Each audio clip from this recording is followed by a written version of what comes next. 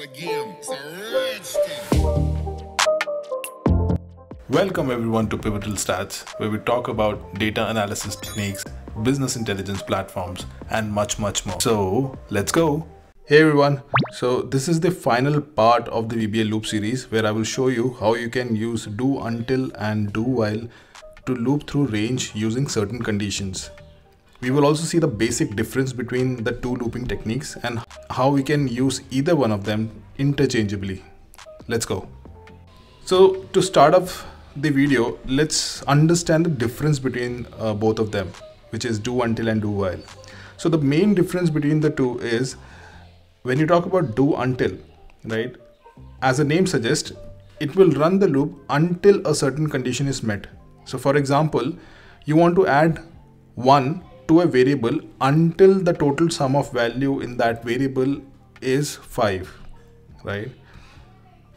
Similarly in do while this will run the loop while a certain condition is true. So for example keep running the loop and add 1 to the variable while the sum of variable is less than or equal to 5 so if you observe in both the loop techniques we are achieving the same objective now let's see a live example and use these techniques to update values in a range. So now here in range A2 to A13, I have numbers from 1 to 12. Okay. In the next column, I need to enter OK wherever I have values in column A. And I'm going to do this using both do until and do while techniques. Okay, with a slight modification in the code.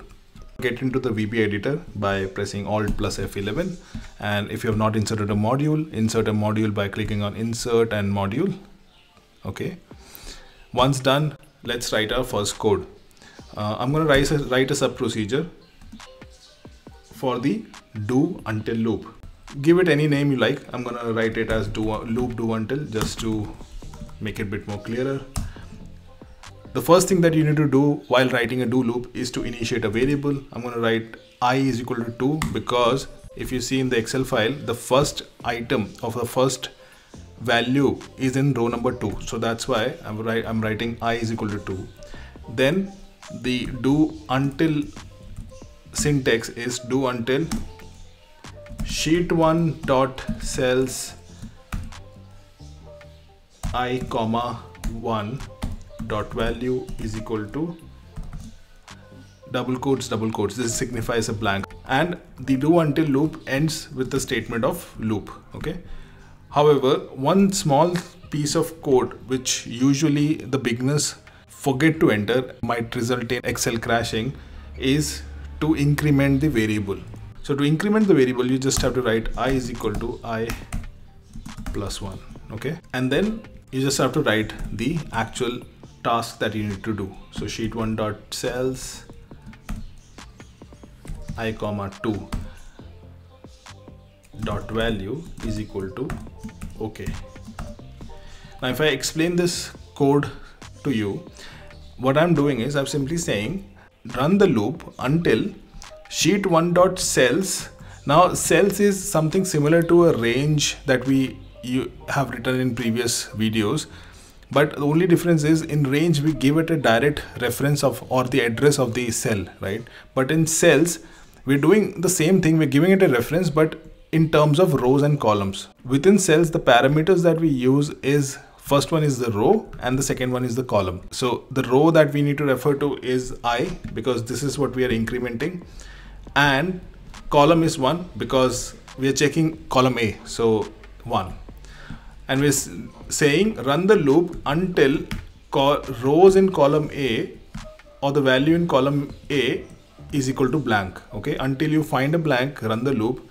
With this line we are increment the variable value to by 1 so whenever the loop runs every time the value of the variable gets incremented by 1 and uh, once the loop starts running it will insert the value of ok into column 2 which is b column for do until loop okay in this column now let me just resize this window just to let you see what's happening and I'm gonna run this piece of code. It ran the loop until it found a blank and then stopped. Similarly, you can achieve this same thing with do while loop as well with a small change of code okay and let me show you how so let me create a new sub procedure loop do while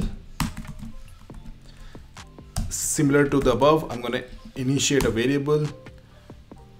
But this time the statement is do while. Sheet 1 dot cells i comma 1 dot value not equal to blank okay?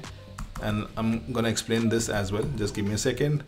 I'm gonna end the while loop by writing the loop statement and I'm going to increment the variable i by 1. Now the statement goes like this sheet 1 dot cell i comma 3 because this time we need to update the value in column C. So the third column dot value is equal to okay. Now let me resize this window again. Now I have resized the window and let's see how this code will run. So running this code piece of code now and if you see what it did was it ran the code and it's telling Excel to run the loop while the range in column A is not blank. The moment it found a blank, it stopped the loop. So as you see, both of the techniques can be used interchangeably with just a change in piece of code and it's up to your discretion which type of loop technique you prefer to prefer to use for achieving your objective. So that is it. This marks the end of the final video of the loop series. Let me know in the comment section if you like this content. And do remember to subscribe to the channel. Thank you so much. See you in the next one